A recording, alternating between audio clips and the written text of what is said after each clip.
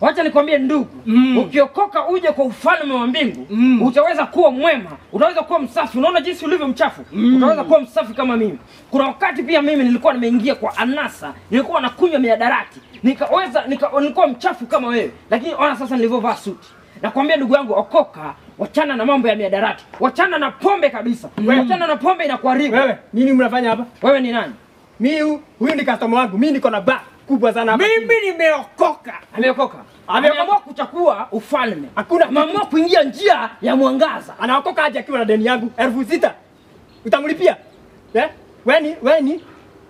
Mimi ni, ni, ni kaka apostle mtumishi. apostle, uko na kanisa yako, si ndio? Ndio. Fanya hivi hiyo kanisa yako ifanye harambee ilipia huyu mtu deni. Wacha nikwambie mzee, nakuona kuona sana. Wacha nikwambie kitu moja, kanisa yangu haiwezi fanya mchango tulipe bili ya miadarati, hatuwezi.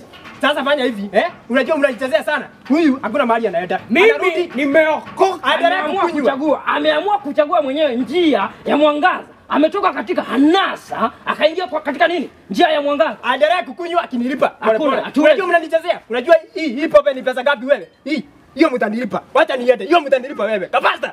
Mtanilipa wewe. Hii utajua. Basi. Hiyo ni pombe. Naomba tu nikunywe kamwisho hivi. Alafu wacha nikwambie. Kamwisho. Ukiokoka, Kamwisho tu pasta. Kamwisho. Kamwisho. Ndugu, ulikuwa umeokoka? Kamwisho tu. Kamwisho. Ndugu, ulikuwa umeokoka?